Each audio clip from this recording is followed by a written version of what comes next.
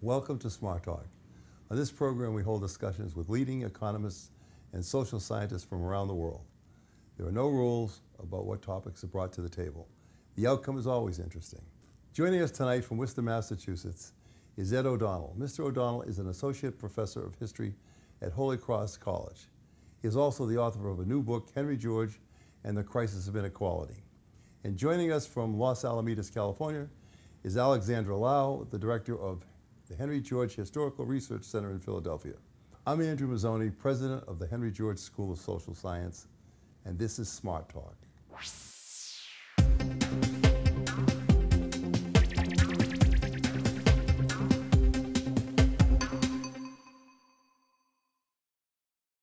Well, welcome aboard, uh, Ed and Alex.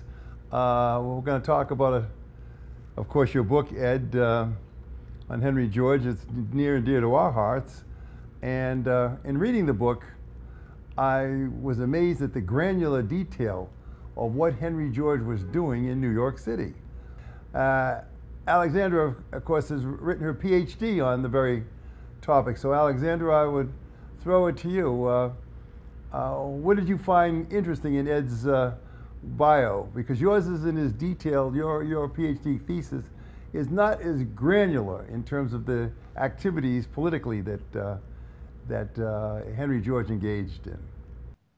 Sure. Well, first, let me just say um, thanks, Ed, for uh, allowing me to ask a few questions and join in on this interview. Um, I, I also found your book fascinating, and uh, it was a real treat, you know, having um, you know, read your dissertation and really relied on it when I was writing my own. So this was just really great.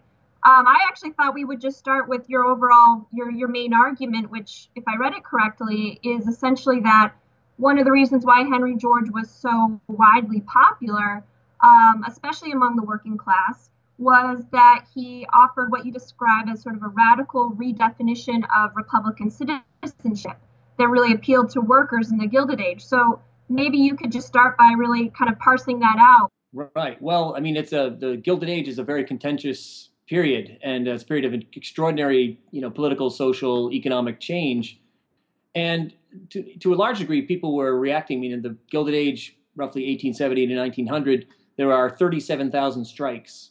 Uh, there are huge up, you know, social movements of farmers and of workers, and uh, the explosion of slums, and very disturbing kinds of trends and a lot of people were saying, well, you know, our political culture, our Republican culture tells us that we just sort of let the market, let the system ride this out and everything will be great. And uh, Henry George came along, and and I guess the other argument was that, and we should be very very wary about messing with our Republican institutions, making the government any larger than it is, and so forth. And as Henry George would say, that was great when everybody was a farmer and the largest cities were, you know, 50,000 people and factories were little itty bitty things in small towns. But now in this new modern Gilded Age era, uh, we need to re-examine that. And it's not, as he says very eloquently, it's not enough that every man has the right to vote if he lives in grinding poverty and can't provide for his family and so on. So George begins, again, along with other people in this era, to argue that there's an economic component to citizenship, not just purely political. And that's really one of the key ideas that he gets across that gains traction with lots and lots of people. Great. Now, now, do you actually find his his uh, his proposal, his program? You say it's very radical, and certainly there were people at the time who considered it quite radical. But um, I, I kind of wonder how radical was it really? I mean, he really is echoing a long tradition of activists who have said um, that every citizen deserves the um, right or the opportunity to work land, to to live on a piece of land, because you know he still saw land as being the basis of, of economic you know generation or progress. So what was it that was really radical? Is it just this inclusion of economic rights within this Republican tradition of citizenship, or was it the actual program he was proposing, or was it both? Well, it's it's both, and it's also um, not necessarily the program per se, the the single tax, but one one of the fundamental sort of broad arguments that he makes is that, and this is where he's different from previous egalitarian movements, you know, like the artisans in the 1830s and 1840s. Uh, he says the only way that this is going to happen uh, and that we get back on the right track is if we invoke, we use state power. You know, t- political culture in American history in the days of the founding fathers that, that was based on a fear of power, particularly government power. So we need everybody agreed, Jefferson and company agreed, keep the government small. That's going to preserve liberty. And, and again, George says that made perfect sense. That was a brilliant idea in that era. But times change, and you know, trying times require, uh, I think he says, radical adjustments. And in this case, he said the state, uh, broadly conceived, is our only hope. So the thing that was once conceived of as the great threat to liberty, state power, people like George and the Knights of Labor and other groups are making similar kinds of claims. Say really the only hope that we have is that the state emerge, at least to some degree, as a as an arbiter between uh, rights of workers and rights of corporations and banks and so forth uh, to pursue their own happiness and to pursue their own fortunes. Ed, let me let me interject here. Two two questions which are you know, kind of subsidiary questions. Uh, first off, uh, there was a huge Irish uh, population in New York City, and he made a triumphant tour to Ireland uh, about that time, where it was much clearer uh, how land taxation would work in Ireland, which was rural and agricultural. And you could cite examples and obvious problems that you couldn't do when you went back to a teeming New York and then had to try to uh, parse out what land rent would be. So that I'm arguing, I'm arguing based off reading uh, your work, that without the Irish trip and publicity, where you got such traction there, and coming back with that, in effect, the sanction of the of, of Parnell and all the famous Irish revolutionaries, that he wouldn't have made so much traction in the United States. I think that that's really a key part of it is that he's, you know, like a lot of people um, in American history, you know, timing is everything and you can't control it. And his book is published in 1879, and literally at that very moment, the Irish economy is collapsing, and it's going to lead to uh, another boom of Irish nationalist sentiment. And so he saw Ireland as a great place to kind of uh, make the case that when a small number of people can monopolize, you know, the key resources, it's going to lead to extreme poverty uh, in a very unrepublican-like society. And so, yes, uh, he he captivates. It's kind of funny because he's he's not Irish, he's not Catholic. Um, in some ways, he sort of stands out as the kind of people you know Irish Catholic workers tended not to like. Hmm. Um, but he has a way of appealing to them. Um, he has a, a, a, genuineness about him. They understand, come to understand him as a, a fellow worker, uh, even though his working days are pretty well behind him by the time he comes well known. But they know he was a member of a union, a typographical union and uh, there's a certain kind of genuine quality that they that they like about him. And they may not understand the single tax they may not even like the single tax but they like as one person once put it they they are drawn to his diagnosis not his prescription. Okay. well let me ask you this uh, along that line before i go turn it back over to uh, alexandra. Uh, even today in this in this country nobody has a clear idea of what the george's prescription would look like economically. You know, first of all, the GDP accounts or everything are not set up to really look at the, the, uh, uh, the outcomes of taxing land and nature exclusively and nothing else. There is no, there's estimates that 30% of the GNP might be rent of some sort, but no one has ever proved it and, and, and come close to making a statement that was persuasive. In fact, if you asked mainstream economists, they'd go to the GNP accounts and say, oh, rent is only two or three percent of the GNP. How can we possibly build a civilization, a society on such a small number? Did anyone back then understand the tax implications of, of uh, doing what he advocated, having a, a, a tax the rent away and use that for society? And if so, there was no government mechanism of any substance back then that could have handled such revenues. That being the case, what would, pe- what would people find other than his own individual charisma to hook onto during, during the populist era? Yeah, I mean, I think um, the beauty of George's plan was that it was very simple. Um, and he also, in some ways, never quite fully explained how it would work and would often brush aside questions about, well, how practical is it? You know, we don't have an internal revenue service or anything like it. How would that work? And he would say, oh, you know, it, it's going to work. So there was a certain, like a lot of reformers who offer kind of a single bullet panacea. Um, he had that kind of faith in it and didn't really want to be bothered uh, by the details. And again, I think a lot of people um, were gravitated towards his his dire diagnosis of what was going on in, uh, in, in American society. That we can't. This is an unsustainable track that we're on towards a European style, a Dickensian style society of aristocrats and haves and have-nots, and whether that was arrested or changed by using his single tax or establishing the eight-hour day or uh, taxing by some mechanism corporations or regulating them somehow, uh, people began to gravitate towards those solutions as viable solutions. So again, I, it's never clear, and it's always hard to, to tell what, you know, how much an idea has impact. Well, in the end, in the end, and I'll say the end, in the early 1900s, apparently everyone, uh, the, the reformers got the notion that if you couldn't uh, actually implement a single tax on land, you could implement an income tax, and that by indirection, the people who are making the largest rents would perforce be those people with the highest incomes. And if you tax that directly, you in effect could get a Georgist solution without actually having to tamper with the notion of private property. Any comments on that? Yeah, and I think I think that's true, and it also recognized the fact that fewer and fewer people's fortunes were in property. You know, property as we understood it, landed estates. There's understanding that this is you know money and value and income and wealth uh, were becoming different things in the tw- er, late 19th, and early 20th century. So, income taxes seemed to many people to be that kind of rational uh, solution to come up with a progressive tax that could address some of these problems and also get us away from uh, reliance on tariffs. Alexandra, any comments?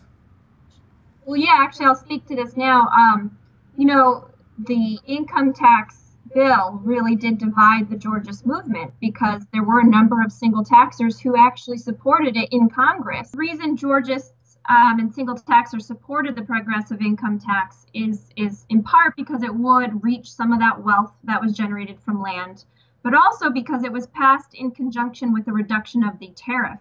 And remember, lots of single taxers, including Henry George, were adamantly um, opposed to the tariff. And so I think that's one of the reasons why they supported a progressive income tax. Um, but one of the things I was hoping, you know, Professor O'Donnell, you could clarify just a tiny bit in terms of the um, what George, in your mind, what did he mean by the state? Because I was never really able to pinpoint what George envisioned by the state.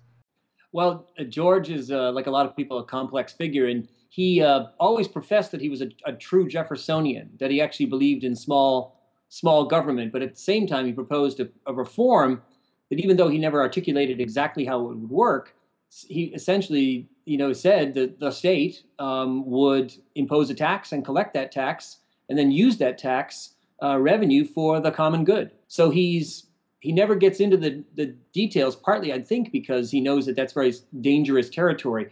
I mean, there's a booming socialist movement uh, in the late 19th century, and he wants to make sure, again, he kind of walks a tightrope with that issue.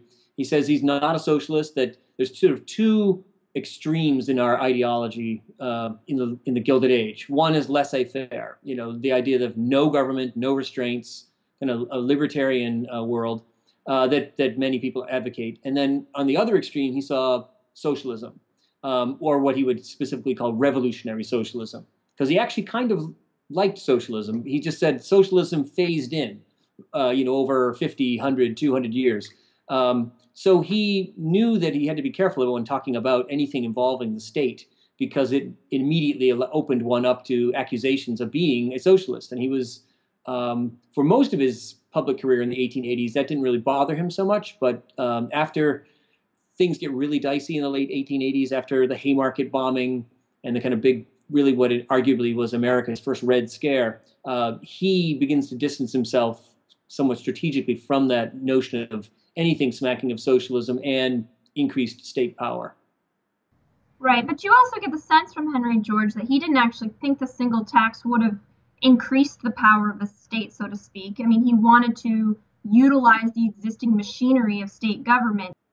Well, he one thing he did argue was that um, even if the say the single tax did necessitate a certain amount of um, state power, that over the long haul, the impact of this of the single tax would be to uh, reduce and eliminate all kinds of state functions. So, for example, he says uh, because we'd be a more equitable, peaceful society, we wouldn't spend nearly as much on uh, criminal justice and on the court system uh, because uh, everybody was healthy. We wouldn't spend so much uh, money on, on health care. Um, and a whole wide range of, of government functions, he said, would simply just become irrelevant. So he does have an eye towards, at least he acknowledges, maybe there'll be a little increase in state authority, but in the aggregate, probably less as this as this kind of utopian idea uh, plays out to this kind of perfect Christian utopia that he describes towards the end of his book.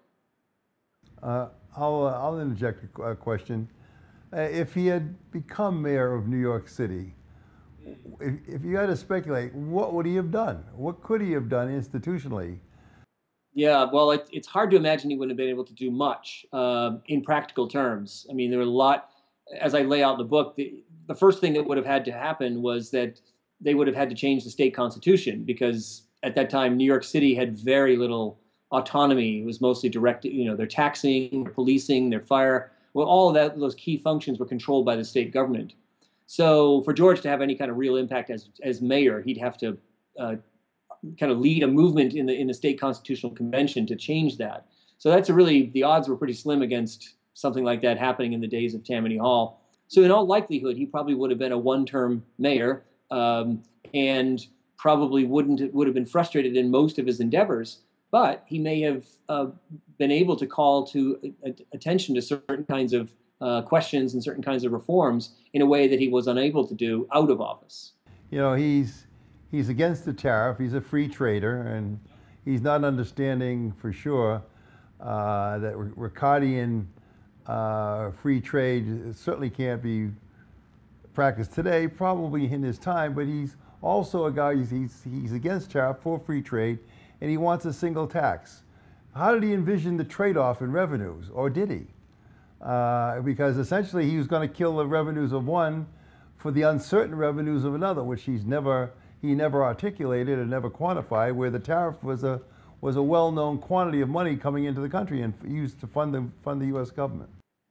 Yeah, I mean, he again, he doesn't. I think in some ways, out of self-preservation, he doesn't articulate, and maybe just the limits of his own economic training. I mean, he was a self-taught economist. It's, it's pretty extraordinary. A guy with a you know sixth, seventh grade education who's able to you know master the great minds of you know Ricardo and Smith and so forth. If you read the last chapters of Progress and Poverty, he's saying really laying out a utopian future where there's plenty of uh, leisure time, everybody has decent housing, there are public parks, places of recreation, excellent public schools, and so forth. So uh, in his mind, there's he doesn't get into the details, but in his mind, the single tax is absolutely going to provide a huge treasury of revenue to uh, provide, you know, a, a, wonderful life for everyone.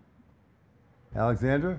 Yeah, absolutely. I think he saw a reduction in the tariff. Um, the the the taxation on land values would would uh, make up more than make up for that revenue. I mean, he really believed that you could operate all of the functions of government from the single tax on land values, and maybe at that time you could depending, you know, the functions of government aren't what they were um, today. Um, and and Professor O'Donnell, you do mention towards the end of your book that George's the you know his failed mayoral campaign isn't really the end of his legacy, and that you do see some um, somewhere where that George is helping to inform the um, inform progressivism or what becomes known as progressivism. Maybe you could talk a little bit about that. Yeah, I mean the list of people from you know the 1890s on who are sort of who's who of progressivism. Um, very, very, a great many of them um, say in their early, you know, in their memoirs or in their letters or in their autobiographies uh, that a key moment for them in their their blossoming as a progressive was reading Progress and Poverty or something written by uh, by George. And I think the the general, again, they weren't. Some were enamored with the single tax, but most were enamored with this idea that uh, the the state, and this is a transatlantic phenomenon. This is happening in Great Britain and many other places as well. Basically, in all industrialized societies, uh, there's this great kind of uh, ideological shift towards saying the state does have the power and the obligation to use its levers of its, its powers to boost the common good. Ed Alexander, the uh, I think he engaged in a debate in England. I don't know if you cover this with a with a famous socialist, and and essentially, my reading of that debate is that Hyndman bested George in in, in that debate uh, because Hyndman would simply say to George, yes. Uh, the land tax is, a, is an obvious tax, but there's more to it. There are other forms of monopoly growing up in an industrial society. Uh, you know, whether it's corporations, where it's franchises, where it's government uh, grants. There are many spots of, of, uh, of monopoly, and that you simply don't get it with the, with the single uh, land tax. And I don't think George ever could broaden his position and he, he couldn't debate that effectively. And I think that took a lot of steam out of his, uh, his allure for socialists, for sure. Uh, any comments on, on that debate? Yeah, I mean, I think most socialists saw George as uh, someone helping the cause, you know, whether it's Karl Marx or, um, or, or, some of the other leading European socialists. They, they liked, at least early on, that he was his some of his ideas are gaining traction, but they were concerned that because it was kind of a, um, a wonderful silver bullet panacea, that it might take people's eyes off the real, the larger set of uh, social problems, that it wasn't just a problem of, of land taxes. And so I think that that had a, um, ultimately by 1886, 1887, they're beginning to see reject George. And then at that very moment, he starts to reject them too. So, uh, and George finds it immensely frustrating to try to engage in though he wants to engage in those debates. He wants to be seen as a as a heavy hitting um, you know international uh, intellectual. Uh, but he has a hard time. He's not a he's a good speaker, but he's not a great speaker, and he's certainly not a great debater. Um, and he has frustration with when when pressed for some of these uh, specifics. Yes, I, I, and I, it seems to me that the steam starts to go out of the Georgist movement uh, after that debate, which was well known. It became a very famous debate around the mm-hmm. world. Would you agree or disagree with that? Yeah, I mean, I think it does. I mean, and George himself, it's kind of a strange story. After you know the by the 1890s, there's this single tax movement that's gaining a lot of membership. It's you know becoming a national organization with chapters all over the country, and it's really the baby of Henry George. He's wrote the book that gave rise to that phrase and to that concept. And by 1892, 93, he's he's no longer going to the conventions. He's really kind of separating himself, uh, kind of disillusioned or or disaffected with uh, with that movement. So it's a um, he's he's sort of adrift in some ways after after um, 1889, 1890, trying to find his his way really, and really to a large degree, you could argue he's shifting his attention towards free trade, which in some ways is a lot less controversial uh, than the single tax, which could always be labeled radical and socialist. Alexandra? Yeah, I would agree with that. I think um, just to go back to the the the, so, the debate with this famous socialist. Um, yeah, I mean George. At first, he's labeled as a socialist, um, and then it becomes very clear he's not, and that's when you you actually start to see him become a little bit more conservative to some degree, right? You know, Karl Marx refers to him as his ideas as the is capitalism's last ditch. And it's true. I mean, George had no um, notions of overturning capitalism. He really just wanted to reform it.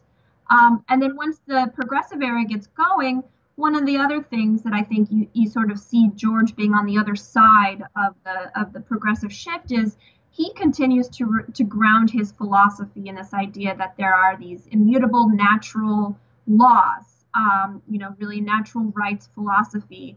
And the progressives, in large degree sort of reject that kind of thinking and moved much more towards pragmatism. So that's the other where the other place where I think George the individual gets sort of left out. But I think by the 1890s he is he starts to become okay with this idea that others are going to carry on his legacy, and I think you actually do see a softening in his his uh, insistence on the single tax the way he envisioned it and I think you see that because he does start supporting other individuals who are running for local office, public office, invoking his ideas, but really adapting them to fit their own. Um, um, the, the, things that they want to address. And in particular, I'm thinking of the mayors, the progressive mayors like Tom Johnson here. So that that's how I, I do think by the 1890s, uh, Ed is correct. He starts to the individual George as the individual, I would say, starts to fade. Ed, how how uh, influential in the overall analysis of American uh, social reformers would you rate George in, in terms of his impact, his longevity? I know it's a tough one to do. Uh, we use George's, of course, uh, hold to uh, his main idea of uh, taxing monopoly, although um, I myself call myself a neo-Georgist, and I look for monopolies wherever they, they appear, so we generalize it. But from your perspective as a historian, I mean, is there any other social reformers of his time, let's say between 1850 and 1900, that have a similar impact and, and in effect uh, deflected some of what he had uh, to say? Well, I, I'd be, I would say he's certainly one of the most influential. Um, again, partly because of his timing. You know, he writes his book in 1879.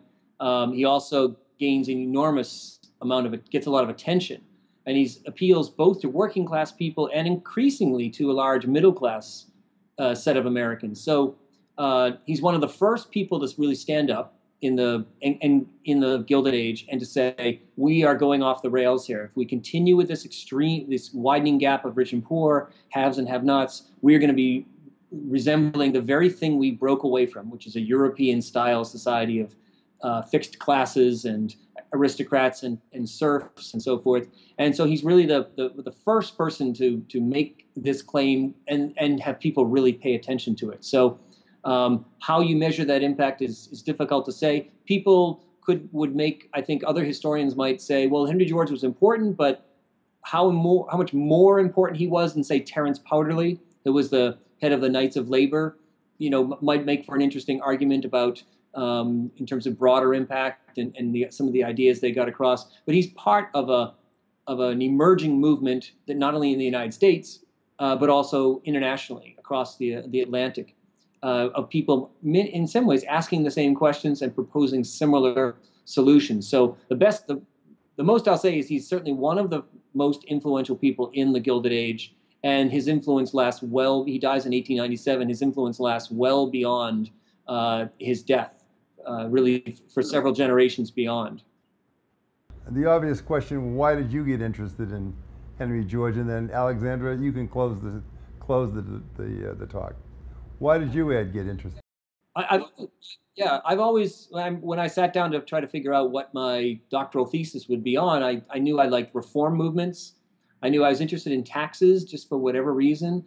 And uh, I was also increasingly by then, I'd been in New York City for three years and really kind of become an interest in urban history, history of New York City, and those three things kind of came together uh, in Henry George. And I think someone must have mentioned him to me when I when I laid out those things. Somebody must have said, "Have you ever taken a look at Henry George?" And from there, I decided that was the that was the topic. Well, he does this. He does survive in the mainstream uh, uh, world with the Henry George theorem, and uh, which is a mathematical theorem about covering the, the social costs of an urban area. So, you know, he's stuck in as uh, respectable in certain circles, and I think uh, even someone like Stiglitz would, would, would give a strong nod to taxing inelastic factors of production uh, today. So he, his influence still is an undercurrent. Alexandra, your final comments on, on the book, uh, Henry George?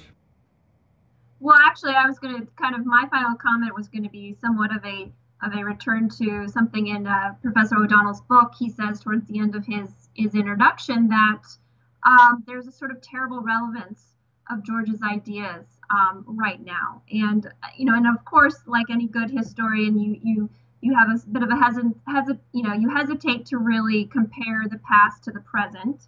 Um, but I'm wondering, are there some lessons that we can take away from the crisis of inequality in the Gilded Age to that might really help us today sort of navigate um, the, the, sort of economic times in which we live? And then I also wonder to go back to your your argument about this idea of labor attaching itself to a notion of Republican citizenship. Has that happened, or is that starting to happen now? Well, in, in terms of the first question, when I look and you know, as I often say, unfortunately, Henry George is really relevant now. You know, uh, it'd be better. Uh, much, much, I think we'd all prefer to live in a society that was less uh, factionalized, less you know stressed out economically, and and facing big questions about inequality. But the, there's a, there are a lot of things about Henry George I think that apply to today. But one is this um, this emphasis on the common good, uh, which I think is to a large degree, I wouldn't say a lost value, but a, a value that has been suppressed and dismissed for a long, long time. And increasingly, we start to hear whether it's labor unions or social reformers and others, uh, the Occupy Wall Street movement, whatever you, various people arguing that we need to attend to individualism is great. Individualism is, in fact, one of the things that has made the United States distinct and a great society and a productive society, but it's not the only thing. I mean, he uses phrases like industrial slavery because he says that's where these these trends are heading if we don't attend to it. So I think that emphasis on the reviving the common good would do a lot for our society today, and also reviving a notion that there is an economic dimension of uh, Republican citizenship that also needs to be uh, attended to. How we attend to those things, how we deal, bring, you know, uh, achieve those things, that's the, the stuff of political and uh, debate. But we need to, I think we're, we're even not even in the debate yet. We need to come up, argue, make, put those two ideas forward. Alexandra, any absolutely and i you know one of the this this sort of ironic uh, places or the ironic you know figures who i think is actually sort of um, touching upon a lot of henry george's ideas is pope francis and i think he has a lot to say that henry george would actually agree with and so i'm actually watching um, watching this pope with a lot of excitement and in a lot of uh, deja vu to some degree. And uh, so i think that's one place that we can sort of see a resurgence in at least the rhetoric that Georgian used because um, it is so he, he, he, you know his rhetoric was so infused with Christian um, idealism and Christian values. Yeah, yep, and uh, and I think that that's how you know we don't we can't predict the future, but if we were to say, are we on the cusp of a similar kind of shift back towards reform as it happened in the late 19th century, entering the progressive era? Okay, I think we we can uh, we can end the uh, the discussions for the day. Ed and Alexandra, thanks for uh, shedding light on our, our favorite subject, uh, Henry George. And uh, good luck on the book sales, uh, Ed. All right. Thank you very much. I enjoyed it. Thank you. and that's it for this edition of Smart Talk. In upcoming shows, we will be talking to such renowned economists as Dr. James Galbraith.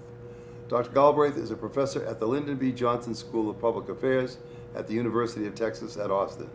His most recent book is Inequality and Instability, a study of the world economy just before the Great Crisis. Please post your questions or comments on our website at henrygeorgeschool.org. I'm Andrew Mazzone. We will see you again next time.